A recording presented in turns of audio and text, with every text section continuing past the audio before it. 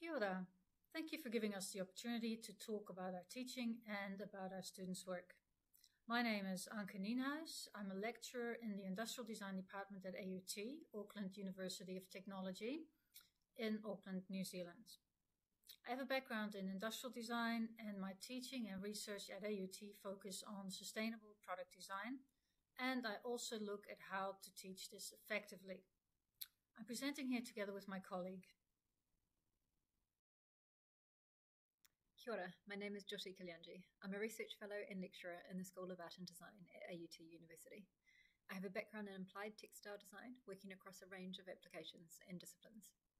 In our presentation today, we'll talk about how we aim to ground our teaching in sustainable design practices within local material based opportunities so that students feel empowered to design for a better future. So at AUT, we run a three year Bachelor of Design program with industrial design as a major. In this program, foundational skills of iterative design practice, human centered design, and form giving are introduced in the first year and are then applied and extended over the following two years.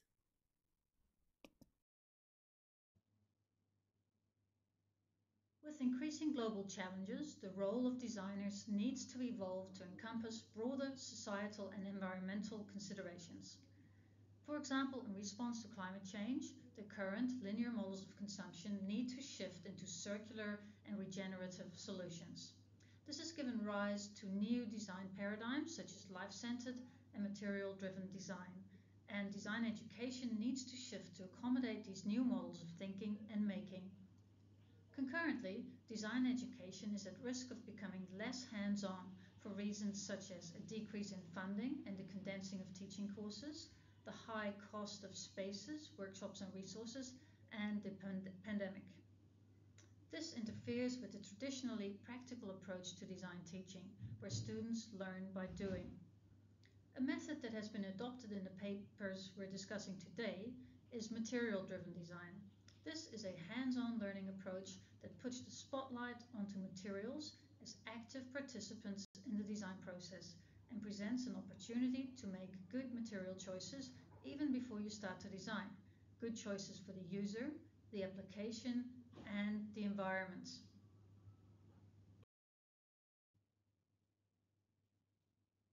The two projects we'll talk about both focus on a specific material, namely HDPE plastic and wool, both with the aim to create value in addressing local waste problems.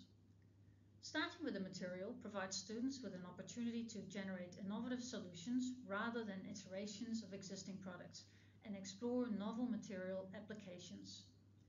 The material discoveries drive the product design and take place before problem solving a user need or experience. We also want students to work on local, real world problems that they can relate to and to enable tangible change. In this first project, we focused on a waste material that most students themselves were involved in creating, namely discarded milk bottles at our university, which goes through a large number of plastic bottles every year. In this eight-week project, third-year students' aim was to transform or upcycle these discarded bottles into useful, valuable and recyclable products to be made and used by university students and staff creating a circular economy at the university, making change on a small systems level. We started by investigating theories, principles, tools and strategies related to design and sustainability, such as life cycle assessment, the UN Sustainable Development Goals, and circular economies. Students were to use the already familiar iterative design process with a focus on human-centered design and meeting user needs. But first of all, they were encouraged to experiment with the milk bottle plastic and extensively explore the technical, sensory and expressive qualities of the HDPE plastic, which later informed their product design proposals. There was a steady supply of plastic milk bottle materials, so students were not limited by their financial means, which can happen in making focused projects. They were to design products that took full advantage of the identified properties and characteristics and discovered or created material qualities. Students also investigated potential recycling systems and manufacturing methods to process the material on site. They were encouraged to create material-based, innovative, change-making solutions and with that, turn the assignment into a positive and memorable experience. I'll briefly showcase three student projects. First, showing some of the students' material exploration and then their final design. This student created an innovative way to make felt out of the HDPE bottles and lids, extruding and spinning the melted plastic and then carding and felting it. While researching what products might be needed at the university, the student learned about noise issues in the library and applied this innovative material to alleviate this problem. Developed felt material was turned into desk dividers to be used when studying at the library. The dividers have excellent acoustic properties and shield students off visually to help with concentration. The outside frame of these dividers is also made from the milk bottle plastic. Here you see another student's exploration of the material's properties and aesthetic, shredding, melting, stretching and pressing the milk bottle plastic, and taking advantage of the black and white contrast and its aesthetic opportunities. Just to explain, the milk bottles the university uses have three plastic layers, the middle one being black, apparently to shield the milk from UV rays. This makes for a distinctive pattern or marble effect when the material is melted. In their research, this student found that students at our university generally don't like to sit in many of the common areas as they feel too exposed. The final design outcome were hanging divider screens to create more privacy in those public spaces and to also have a positive aesthetic impact on the space. This student didn't select the project in his third year, but chose to embark on a master's study investigating the exact same theme.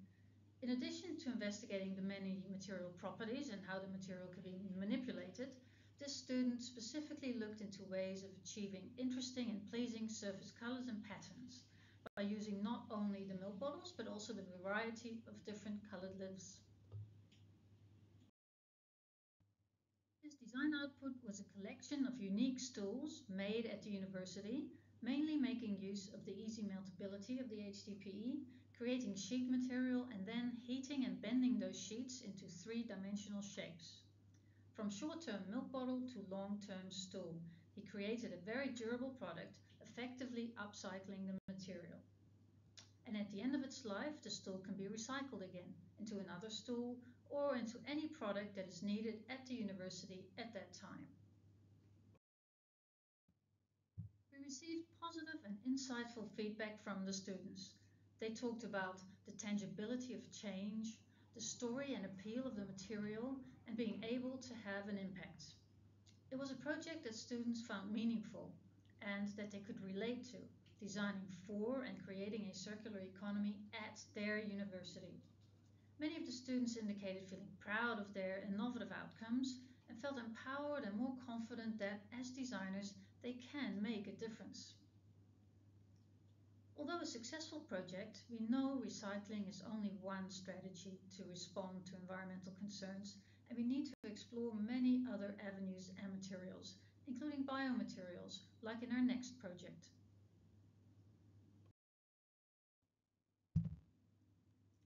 The strong wool problem is another local issue, but is more broadly positioned within sheep and beef farming across the country. Strong wool is a locally produced natural fibre. It's a coarser fibre than the premium branded merino and has traditionally been used in carpets, insulation, upholstery, and bedding. It has much to offer with regards to its functional and aesthetic properties, but over time and with increasing use of synthetic materials, strong wool is now perceived as a byproduct or waste product. With strong wool making up approximately 90% of New Zealand's total wool production, this perception and a lack of demand is a significant problem for New Zealand's wool growers. It currently costs farmers more to shear their sheep than they are getting for the sale of the wool. More recently, there has been significant government and industry investment to promote research into locally sourced natural fibres. For strong wool specifically, there are three key bodies in this area each targets a different area of the industry or consumer segment, but all reference a shift in demand and price of strong wool being dependent on new high value applications. Problem presented an opportunity to develop a studio-based paper for Year 2 students. At this point, the students are halfway through their degree. They've been introduced to the Design Thinking Toolkit, human-centered design, and varied fabrication technologies, largely working with hard materials. This paper was developed to extend these foundational skills with a focus on introducing students to fibre or soft materials and a materials-driven design approach.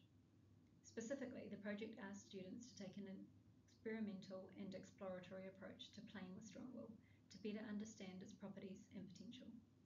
And then, based on their findings, provide innovative design solutions that shift the perception of strong wool and valued user-centered product designs.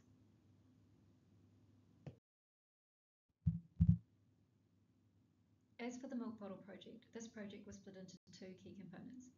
The first is a fibre and fabrication study, and the second, the development of a product concept generated from the findings of the first phase.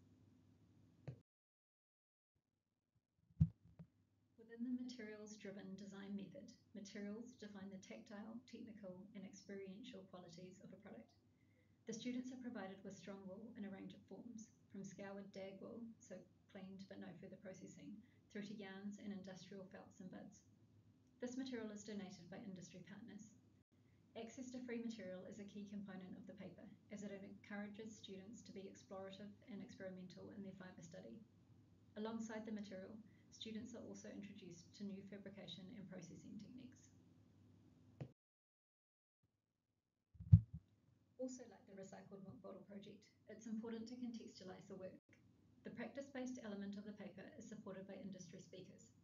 So we start with the farmers that donate raw fibre for students to work with, before introducing them to a range of partners from throughout the supply chain, from scouring, carding and spinning, to designers of end applications. These talks are presented as open discussions in the studio. As well as reinforcing the need for novel solutions to the strong wool problem, partners will often share steps being taken to address the environmental impact of farming and processing of wool. Students can ask questions, dig into details, share their work and receive feedback. In this format, it's also the intention to level the playing field. Industry experts are approachable and we want to reinforce to students that they have valuable ideas to share. As students work through the first phase of the project, they are identifying the technical and experiential qualities of the fibre and are considering what these qualities can offer. In the work shown here, you can see there is a broad range of fabrication techniques. Both additive and subtractive techniques are being used, and the fibre is being transformed into dynamic forms. So just some thoughts from this first phase. Um, students can be slow to start the concept of freely exploring a medium with no intended product outcome can seem abstract as a design method. However, once a few have embraced the making, it generates a buzz around the possibilities, and the other students are quick to join in. We also noted that the project activates a strong studio environment. With hands-on fibre and making processes often relying on labs, students need to be on campus from the first class. This encourages work to be displayed in the studio and opens discussions within the cohort. Lastly, we found that in some cases, an unexpected discovery during experimentation stalled the process, with students not knowing how to draw from the work to move forward. So from this first phase, students generate and ideate a concept that exploits their findings around the characteristics of wool. They then have seven weeks to develop this into a product. There is still a lot of making in this phase as students work through an iterative development of their products. Alongside this, we have some sessions with industry experts, such as acoustic or filtration experts, where students can get feedback on their concepts. The last part of the project requires students to shift their mindset to their intended user and to consider how they will communicate their concept to this audience. This is an important step in reinforcing that user needs should be considered throughout the development, and that users will not necessarily be sold on a good material choice. Rather, the material needs to be brought together in desirable product outcomes.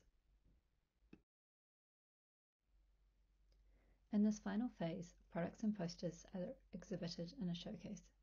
This starts as an open session with industry, allowing students to share their outcomes and receive feedback. We find that students are excited to share their designs with the experts they have met previously and are comfortable seeking feedback. The showcase is then opened up for public exhibition. And just briefly, you can see from these slides the breadth of applications that are generated from exploration of a single natural fibre. There was some insightful feedback from students that reinforced the need for the various components in the project format. With regards to working on a local problem, students noted that it felt more personal, that it felt like they were doing something for their country, and that they were contributing to a future solution. They also found it easier to design a product that had a meaningful backstory and noted that it was empowering being able to address a New Zealand issue. With regards to material making, there were references to the experimentation being the most enjoyable part of the paper. Students noted that they loved testing and pushing the limits of the material, loved being able to touch and feel the material, and that they enjoyed the hands on aspect. And lastly, reflecting on the industry engagement, Students noted that talking to industry guests motivated them to research further. It gave them a sense of urgency around the problem. They found the talks insightful, it was one of the best parts, and that they liked the opportunity to have one on one talks with ex- experts in the studio. So, just to reflect on the outcome of both projects and how we might move forward. We think it's important to acknowledge environmental and societal concerns and consider how we address these within our teaching. The two projects discussed today aim to integrate aspects of this within real-world local projects. Positive outcomes included that students could relate to the problems presented. This motivated students as they felt they could have a tangible positive impact. Also, a material-driven design approach allowed for and encouraged open-ended, creative and intuitive experimentation and made for innovative design outcomes. The projects were built on traditional industrial design processes, where students engaged in familiar problem-based and solution-oriented learning. And lastly, the supply of materials ensured students could explore and experiment without limits. These are key aspects we would like to take forward. The intention of these projects was to empower the students and give them confidence to be part of the solution. We'd also like to consider how we can contextualize the making within new and evolving design paradigms, ensuring students can be responsive to the changing world around them. And we think it's important to continually review and adapt projects to address current local problems. Our students have the potential to make change happen, and hopefully, through local materials based projects, we can help them achieve this. And with that, we have come to the end of this presentation.